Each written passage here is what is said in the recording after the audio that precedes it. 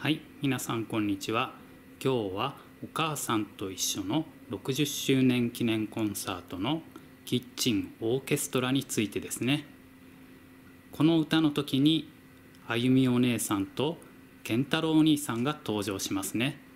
そしてこの歌は後で登場する坂田治お兄さんが作られている曲でもあるんですね。この歌はこの2人のお兄さんお姉さんの頃の歌なので登場曲にはとても合っていると思います。そして現役のみんなとコラボをして歌うのでとても貴重な一曲となりました。はい。今日はお母さんと一緒60周年記念コンサートのキッチンオーケストラについてでした。